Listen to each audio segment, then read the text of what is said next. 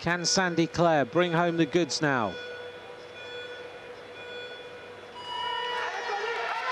Big power from the French rider, really urging that bike forward now.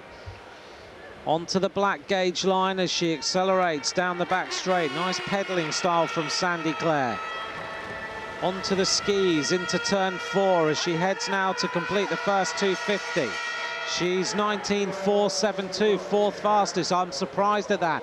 Now she's really got to accelerate hard, trying to get all the power out before the finish. She's wobbling a little bit, looks like it may not be her day. Racing up to the line, 34.709, and that's fourth fastest for the French rider.